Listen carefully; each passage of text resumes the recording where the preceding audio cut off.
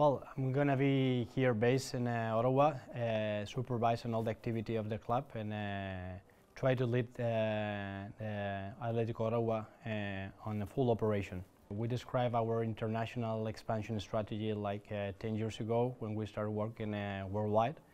And always North America was in our plans. So right now it's a reality and it's a huge country with a big potential and uh, we want to contribute uh, as well.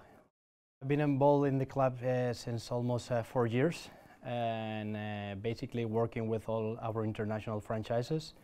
We are collaborating with a Premier club in Israel and Premiership, uh, Apoel Beersheba is the name of the club. Another one in the Indian Super League, uh, Jamshedpur FC. We've been there before uh, with uh, ATK with a little bit uh, success because uh, on three seasons we won two titles. And uh, we are also collaborating with uh, Dalian Yifang in the Chinese Super League. We own a club also in uh, France, uh, Lens FC, and uh, our club in Mexico that is also owned by Atletico. Every club is different. Uh, it is true that soccer is similar, you play with a ball, but you need to be flexible and adapt to every country because the level is different, the culture is different, the supporters are different. One of the things that we notice is, for example, that the supporters uh, in North America are completely different, for example, uh, to the ones in Spain or to the ones in India or China. So we need to be very flexible and uh, to know what they want, uh, to know what they feel, and uh, to really be part of it.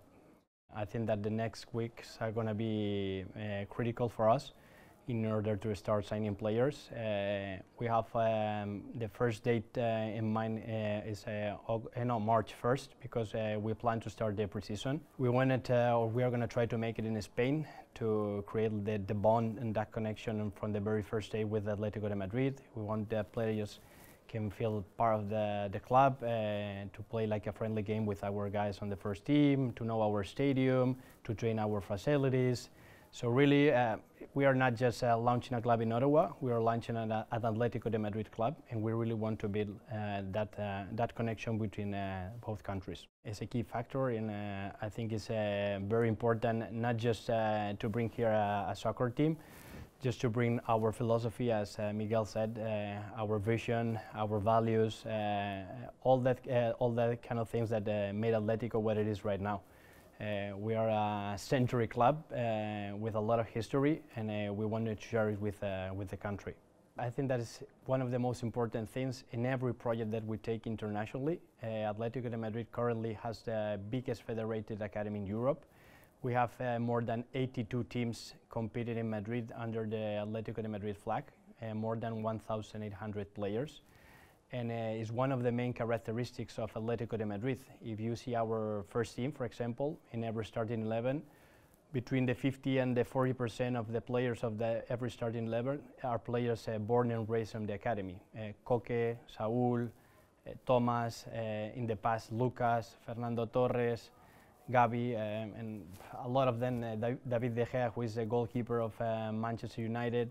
So that's what is Atletico, and uh, we want to bring this expertise and, and this uh, form of work here also. Will there be academy, an academy set up here in Ottawa?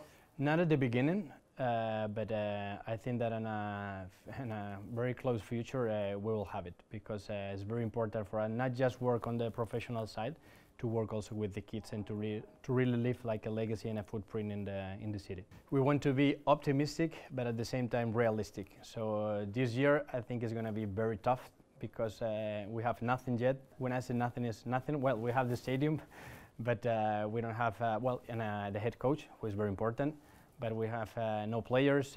We need to build also the staff to control the business operation of the of the team. And uh, aside from that, uh, uh, we're starting from the scratch. So uh, I think it's going to be very important to see where we are in the first days and uh, to be realistic.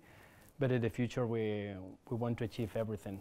We heard that uh, it is a huge fan base in soccer here in Ottawa. So uh, we want to make like a big collab to all of them and uh, we also want to learn from them because uh, we were very surprised uh, uh, the way they support the team in the past. Okay, not just here in Ottawa, in all the Canadian Premier League.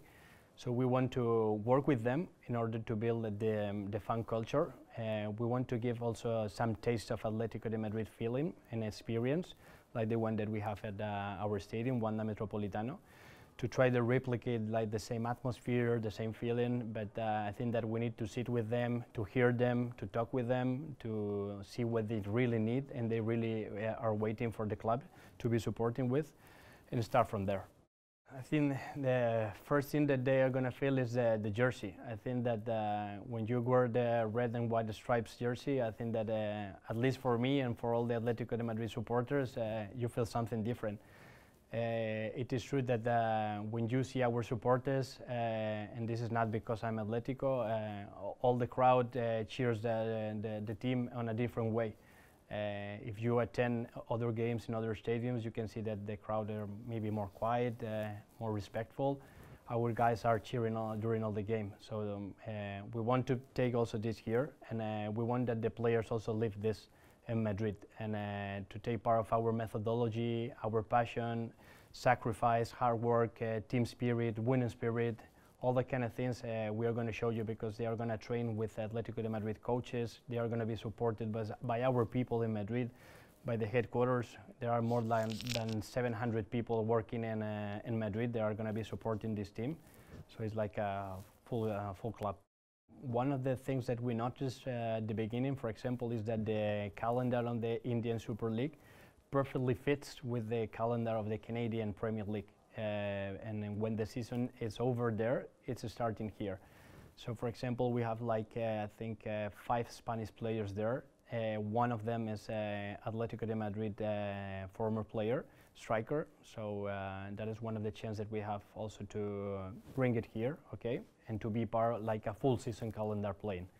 In the case of Mexico, I think that the level of the competition right now is a little bit different. Uh, First Division Mexico with the Canadian Premier League. But uh, we will see because uh, it's obvious that uh, it's also interesting for the players and for its development to be part of different teams, uh, all under the same structure and the same uh, brand.